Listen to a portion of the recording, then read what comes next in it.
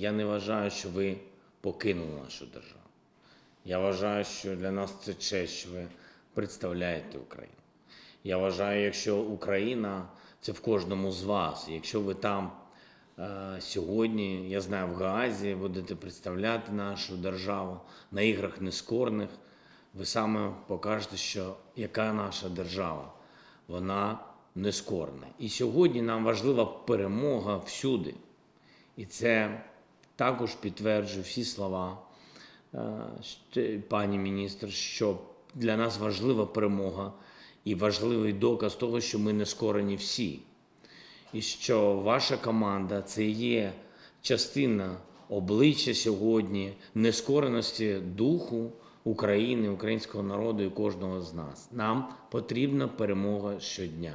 Впевнений, у вас були якісь вагання їхати або не їхати, час для цього або не зараз.